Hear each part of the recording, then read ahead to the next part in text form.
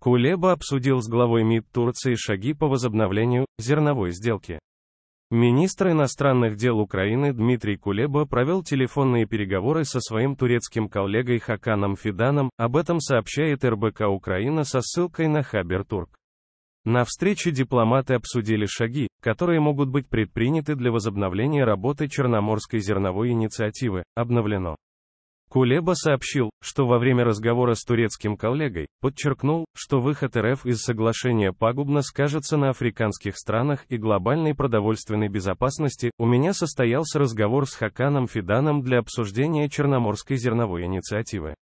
Я подчеркнул, что выход России из соглашения пагубно скажется на африканских странах и глобальной продовольственной безопасности, написал он в Твиттер.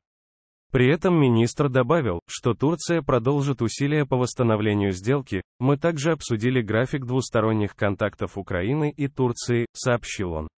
Зерновое соглашение 17 июля РФ заявила о всем выходе из зернового соглашения. Украина в ответ заявила о готовности экспортировать зерно в трехстороннем порядке. В то же время Россия начала обстреливать Одессу, атакуя порты и соответствующую инфраструктуру. В ответ на такие действия ЕС призвал страны Большой Двадцатки давить на РФ с целью заставить ее вернуться к зерновому соглашению.